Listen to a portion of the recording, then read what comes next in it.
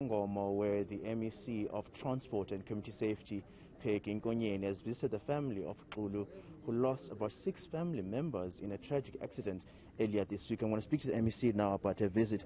MEC Nkonyeni, thank you for joining me. There's never right words to say when to a family when a tragedy like this happens, but you felt the need to come all the way here. What was your message to the Kulu family in this difficult time? We are here uh, at Kwanongoma, where, where this family, Mshongo family, has actually lost about have, have, have actually lost six members. So we wanted to express our heartfelt condolences to the family.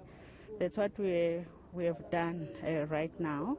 Indeed, uh, there are no appropriate words, you know, to uh, to express, you know, your, your heartfelt condolences when um, a family has lost so many members. So it's it's a very difficult uh, moment for this family. But uh, nevertheless, we have identified challenges um, in the road where the accident had happened. And as the Department of Transport, we are going to be intervening uh, with regards to ensuring that uh, uh, such uh, tra- tragedy does not happen again in that particular road. MEC, when you talk of that also, it brings into the question the road carnages that we see on our roads. I mean, just after Easter, and we're expecting numbers to be announced nationally, but provincially too, it's a worry, isn't it, that fatalities continue to happen on our roads?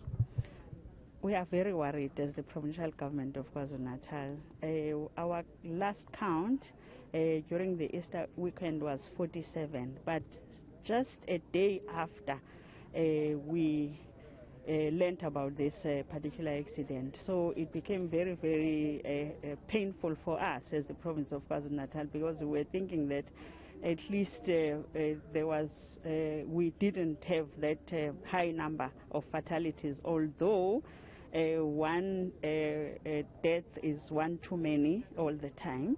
So we had, um, our last count was 47, uh, which we really attributed to a number of, um, uh, of, of um, uh, reasons like uh, recklessness on the road, uh, in, increase of the regulated speed limit, drunk, drink and driving, you know, so it's, it's very, very difficult for us as the province of KwaZulu-Natal, but um, we are saying uh, there's nothing insurmountable. We will try by all means to deal uh, with such issues. Thank you, MEC Nkonyeni, for joining us here on Newzroom Afrika. That's MEC Nkonyeni here, who is the Transport and Community Safety in KwaZulu-Natal, basically giving us her take as to what causes road carnages, whether it's speeding, whether it's drunken driving, whether it's recklessness.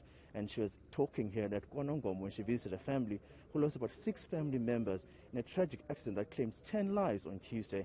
For Newzroom Afrika on Channel 405, I'm Bonga Dlulane in Kwanongoma in KwaZulu-Natal.